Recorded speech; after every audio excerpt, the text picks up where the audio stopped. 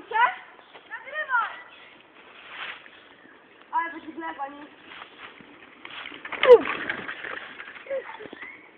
Hamulec. Ja Marcin.